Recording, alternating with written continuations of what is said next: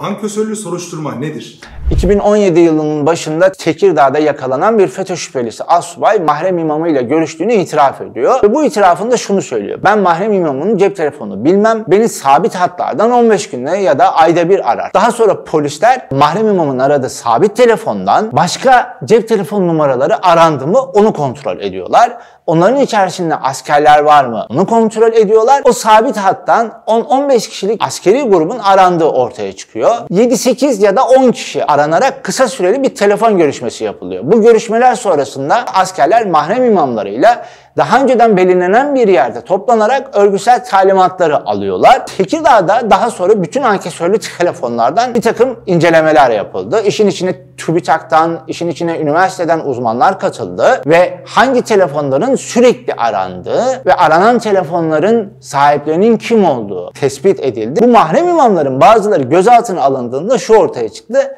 Bunların cep telefonlarında askerlerin telefonları şifrelenmiş bir şekilde yazılı. Ya 9'a tamamlıyorlar ya son 4 rakamı yerini değiştirerek yazıyorlar ve askerlere kod isim veriyorlar. Askerler de görüştükleri mahrem imamlarının kod isimlerini biliyorlar. Tekirdağ'da başlayan bu soruşturma İstanbul, Ankara başta olmak üzere bütün Türkiye'ye yayıldı. İstanbul'da Üsküdar'daki bir kuru yemişçide yüzlerce FETÖ'cünün seneler içerisinde arandığı ortaya çıktı. Bunların içerisinde çok önemli üst düzey FETÖ'cüler de bulunuyor ve bu soruşturmayla bayrak kullanmayan, işte örgüsel bir mensubiyeti görünüşte olmayan kripto FETÖ'cüler, TSK'ya sızdırılmış kripto FETÖ'cüler ortaya çıkarıldı. Halen daha çıkarılıyor.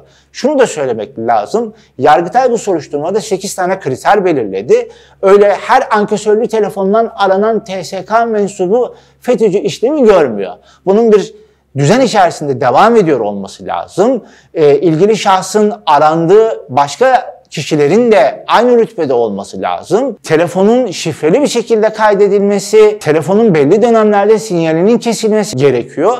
Ee, hani kamuoyunda şöyle bir algı oluşuyor. Ankesörlüden her arananı FETÖ'cü diye alıp içeri atıyorlar. Öyle bir şey yok.